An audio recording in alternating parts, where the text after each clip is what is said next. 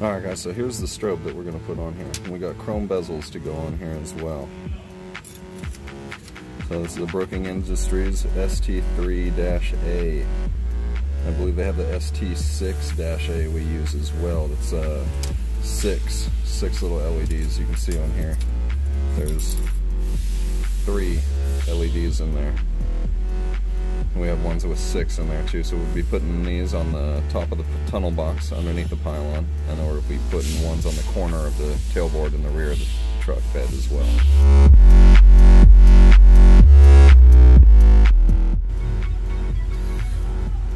Alright, here's these strobes that I was talking about.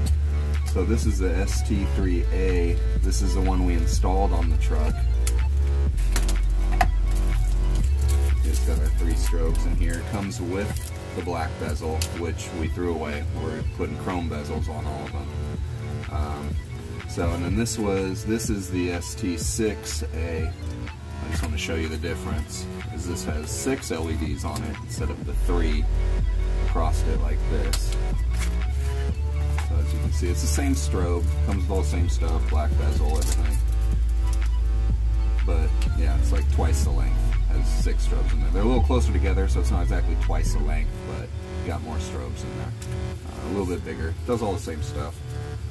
So this is how I wire them up. This is how you wire them up. So this is your hot, of course it's red. This is your ground, of course it's black. Um, and this is your sync wire. So like I was talking about grouping them, um, when you sync them all together, this is not grouping, syncing. Uh, to sync them all together so that they all communicate with each other and dance back and forth, um, or their flash patterns that they're strobing are in sync and doing the same at the same time, you need this yellow wire connected to each one of them. So all of them have to be connected to each other using this yellow wire.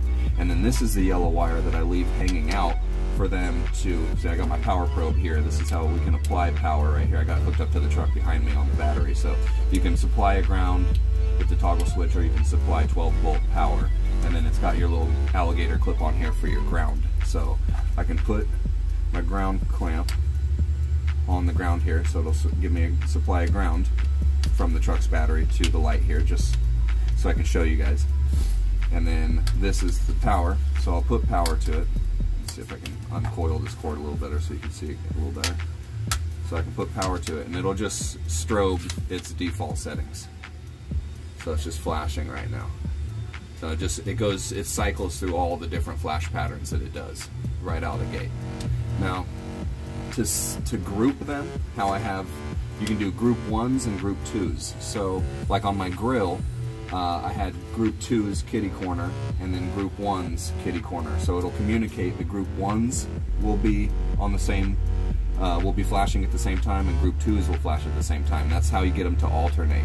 So you'll have group one, group two. Group twos will be going off at the same time and they'll alternate between group ones. Um, and in order to group them, you have to supply power to both of these simultaneously at the same time. So once I do that, you'll see it'll no longer strobe its flash pattern.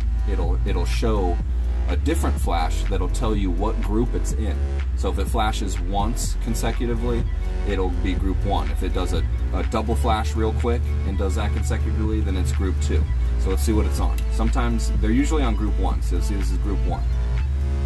So now to put it in group two, or back to group one if you're already in group two, is you need to, this is kind of tricky, is you need to supply power to both of them to go at the same time simultaneously, to go into grouping mode. Usually it's not this difficult. Let's see. So you hold power on both of them to go into grouping mode. See, I like to do this like this so I can pull it away kind of with my other hand. So I'll supply power simultaneously to both of them. See, it's in group one. Now I'll pull the sync wire off. See, and it'll keep it'll keep showing that it's in group one because I have power still. I still have power going to my red wire. Now, if I touch the sync wire back to it real quick, now see it's flashing twice. All you have to do is just quickly touch that sync to the power again. So now it's back in group one. See that? So I have power to the red this entire time. So touch the yellow again. Now we're back in group two. Okay? Now to enter that, again, you have to supply power to both of them simultaneously. Then take the yellow away and then touch the yellow again. So every time you take the power you take the power away from your sync wire, the yellow, and then touch it again, it'll go back it'll it'll change the group that it's in. So simultaneous on both of them. We're in group two. Let's put it back to group one here. I'll put the yellow on top so I can pull it off. So in group two, pull the wire off, touch it, back in group one. Okay, so now, and some people like to mount their strobe and then group them and then wire them all up synced.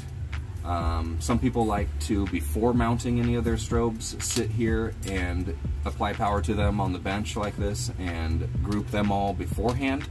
And then all you have to do is just run all your wires and connect them all and sync them all together. Uh, you don't actually have to do anything to sync them, you just have to connect all the yellow wires together so they can communicate with each other. Even on your group two, so, you, so let's say you have group ones, a couple that are group one, a couple that are group two. They still all need to be connected so they can communicate with each other with the yellow wire. You connect, yes, the group ones with the group twos with your yellow sync wire, and that's they will all communicate, and then that will allow them to dance back and forth from group one to group two.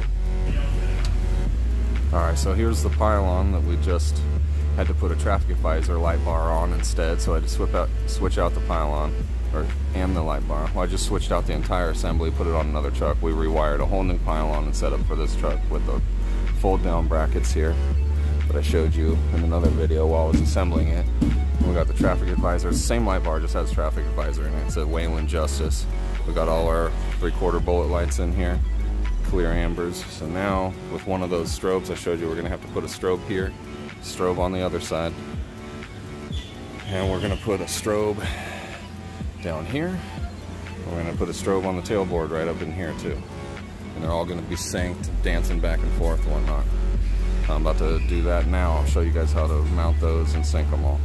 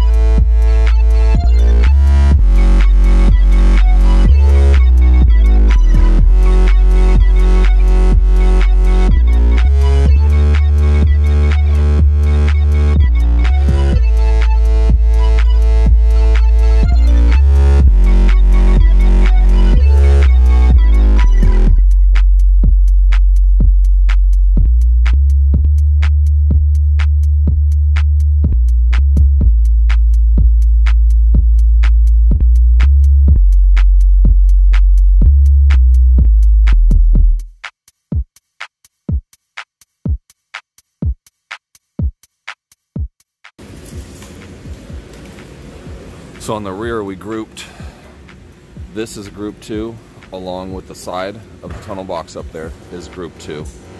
So these will flash in sync with each other. And then this is a group one. So vice versa over here. This is a group one as well. And this is a group two. And the one on the tunnel box up there is a group two. So these will flash in sync. So the group twos on the outside of the truck the outside of the truck will flash in sync together and it'll alternate to the inside. So it'll go outside, inside, outside, inside on both sides. So it'll go from both sides, outside, inside, outside, inside. It'll look sweet from the rear like that. All right, now we're gonna install the strobes on the grill here. Cut to the time lapse.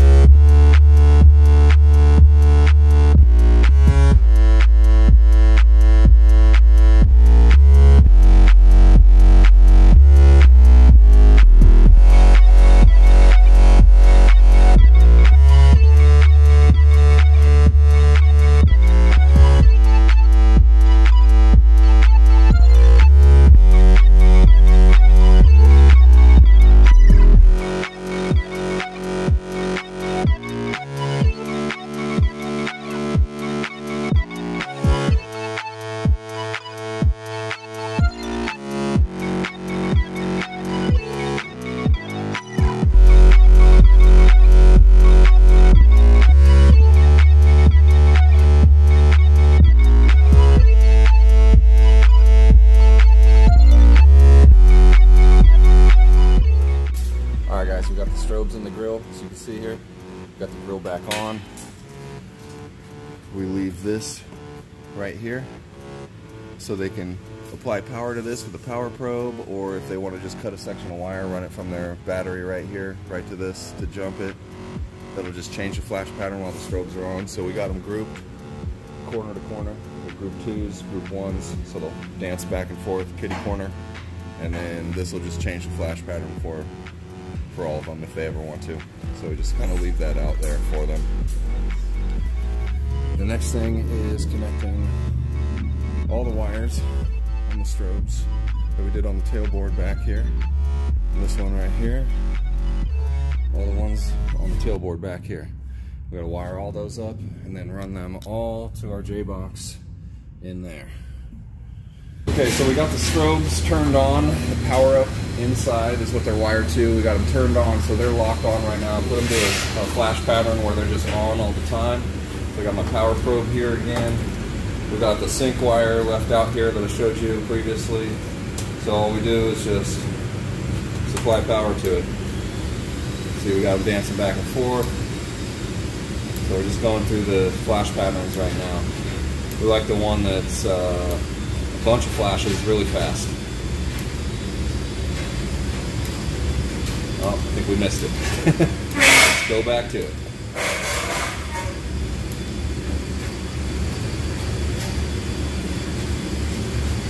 So these are like group ones, group twos. That's how we get them to do that.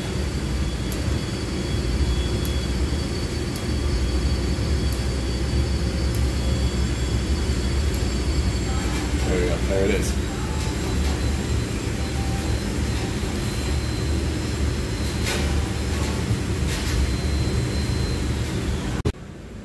Hey guys, so this is the power up I was talking about when I had all the strobes wired to it. I said, so I got the seat out of the Dodge right now.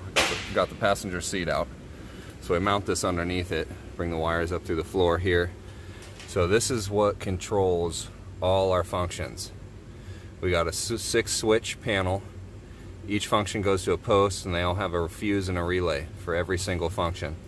Uh, we can have other functions on here like a PTO alarm for our PTO button. Um, many other things too. Um, but I'll bring you another install video of this too. So check in the description for the link on this. I'll bring you an install video on this soon. Uh, let me show you the keypad too real quick just so you can get an idea. We mounted it on the driver's side on their left side this time. So that's what the keypad looks like right there. Sometimes we mount it right here below the cubby. So check back soon for the link in the description uh, for this install. But anyways, Okay, so now we'll do the, the rear back half of the truck. I got them all locked on again too, but these should be group ones and these are group twos. So we got the rear tailboard will flash in sync, and this one and the one up on the tunnel box will flash together too, so they'll alternate. They'll inside to outside on both sides. Same thing with the front. I just have my sync wires all together, hanging out in my J-box, so I just got to supply power, power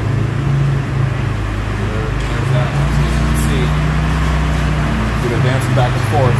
The ones are together, the two on the side are together.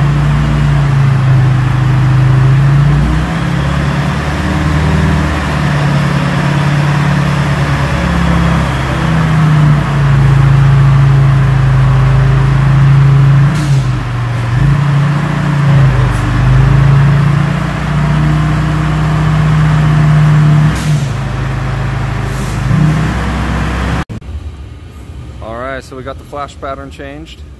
As you can see, we got the tunnel box and the tailboard in sync together at the same time. And then the tailboard is flashing independently. But you can see we got both the tailboards are going at the same time.